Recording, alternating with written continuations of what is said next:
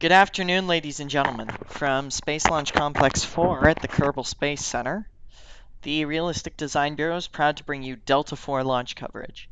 Today, a Delta IV rocket is fueled and ready to launch the wideband Kerbin satellite for the Kerbal Space Agency. The launch vehicle used today is a Delta IV 5-2 rocket or it's a two and a half meter rocket with a one with four 1.25 meter boosters. T minus four.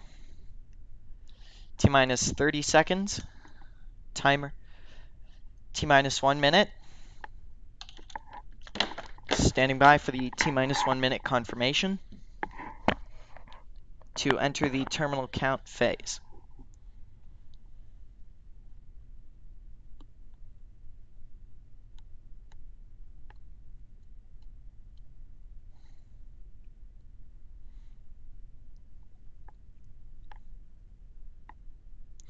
Mark, T minus one minute. Fuel, fuel pumps pressurizing the space, spacecraft pressurizing to fuel levels.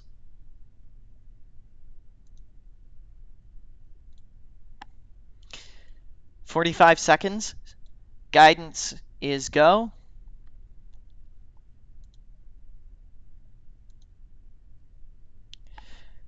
T minus 35 seconds. Fuel is off. Fuel has been cut off from the spacecraft. 25 seconds. Spacecraft is nominal.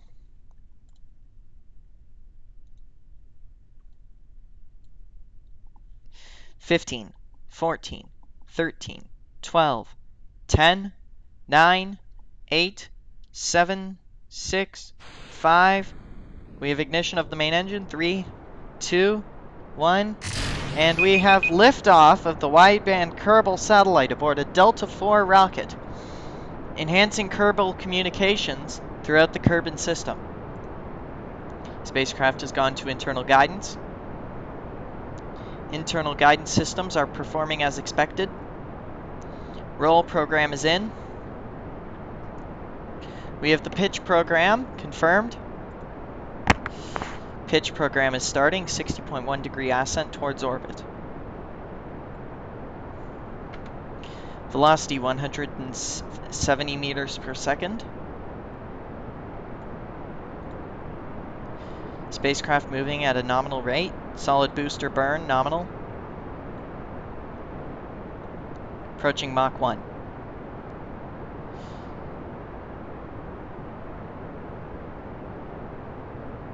Four kilometers in altitude, velocity 320 meters per second, Mach 1, vehicle now going transonic. The four solid rocket boosters are down to a quarter fuel. Standing by for solid rocket motor separation. Solid rocket motors separate in two groups. Standing by for booster burnout. Velocity approaching 500 meters a second.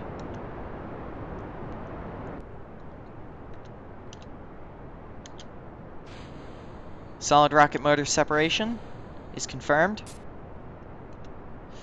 Boosters have separated as expected. Spacecraft continues to fly with the pitch with the pitch program.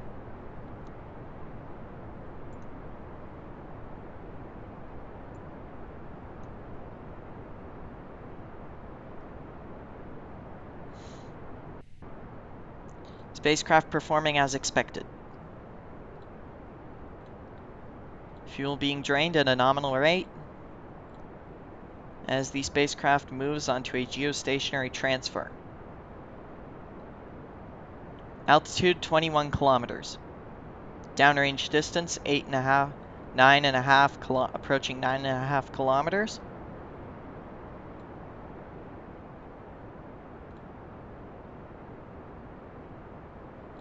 Downrange distance 12 kilometers, 800 meters per second. Mach 3.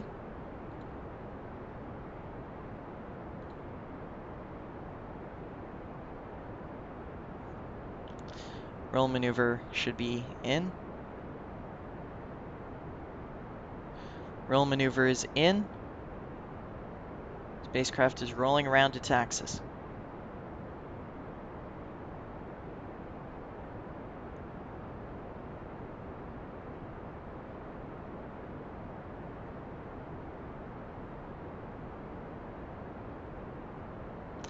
Mach 3.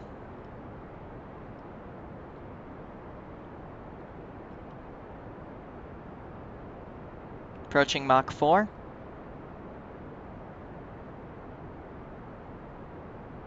Mach 4. Spacecraft is at one and a half kilometers per second.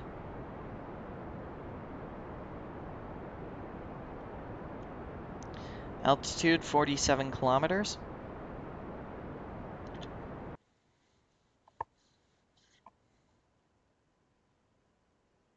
I need to deal with those two. Those two shouldn't be there.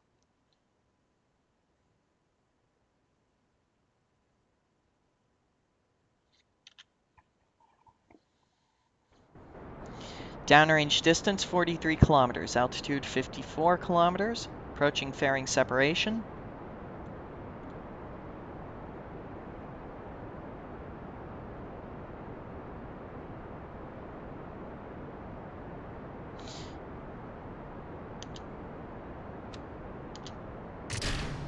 We have fairing separation, a clean fairing separation on the vehicle as we move into the vacuum of space at 2.2 kilometers per second. Standing by for first stage burnout and second stage ignition, which should take place about 8 seconds later.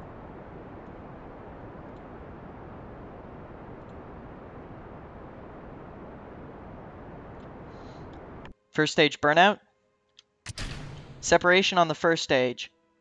Clean first stage sep.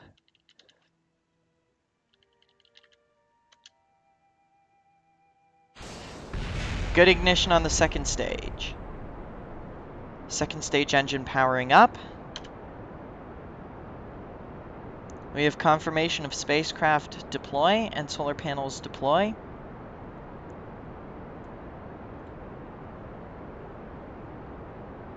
RCS enabled. Velocity 2.8 kilometers per second. Approaching burnout. Approaching geostationary transfer burnout. We have burnout and orientation towards maneuver.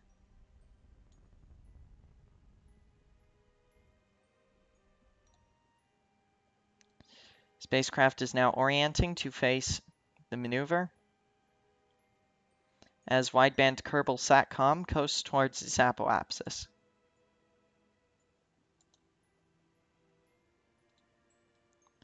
As we prepare to deploy antenna, it has two, two antenna from the AIES pack.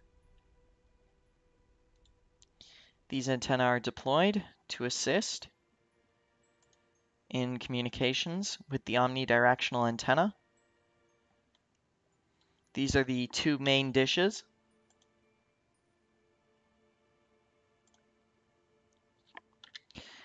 Spacecraft is approaching maneuver, and we should begin the coast phase shortly. We are into the coasting phase. Spacecraft flight is nominal as as we coast up to apoapsis.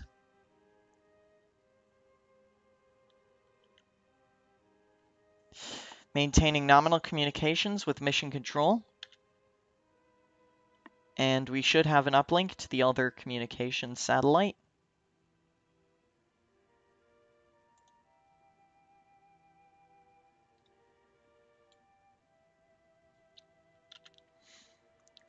Approaching final approaching the orbital insertion burn. One thing the spacecraft will have to fix for the next mission is the lack of monopropellant.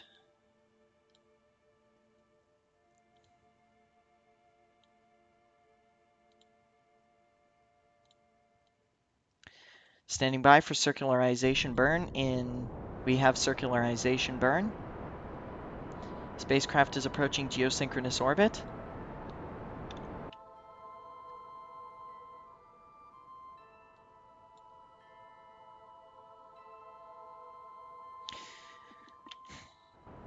This is wideband Kerbin Satcom 1.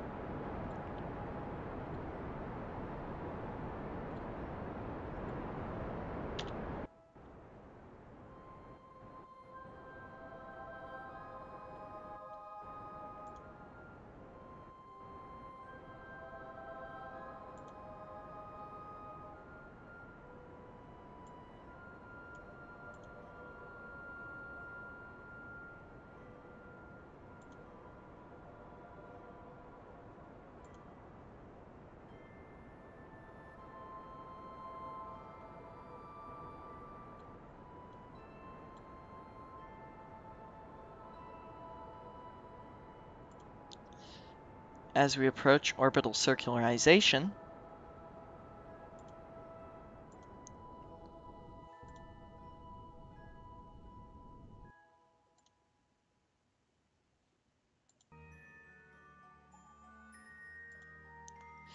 Wideband Kerbal Satcom 1 has achieved a geosynchronous orbit with an orbital period of 1 hour 50 minutes.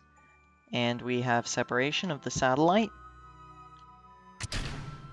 a good satellite separation. It has a second probe core on it, just due to the fact that we needed it to be a little bit larger.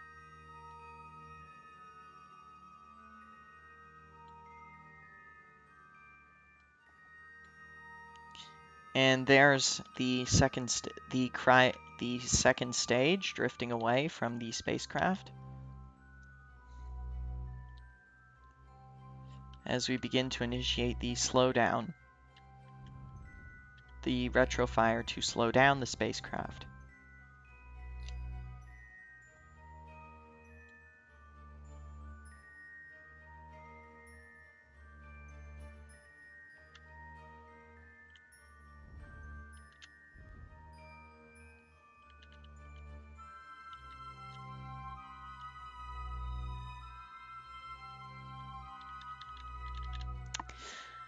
I am Andy Epix for the Realistic Design Bureau reporting on wideband Kerbal Satcom 1, the first generation high power Kerbal communication satellite.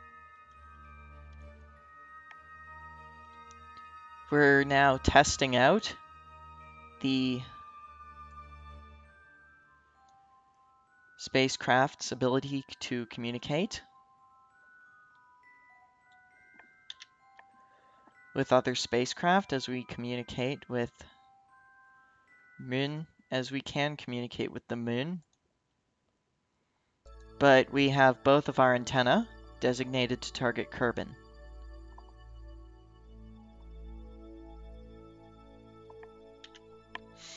I am Andy Epix, thanking you for watching this latest mission from the Realistic Design Bureau. Saying, having a good day, and I bid you a fond farewell.